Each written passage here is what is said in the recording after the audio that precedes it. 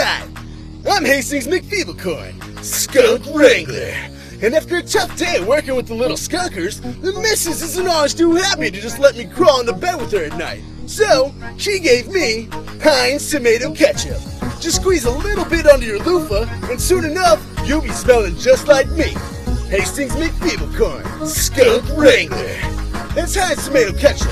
Good enough to get a skunk wrangler clean, even better on a hamburger.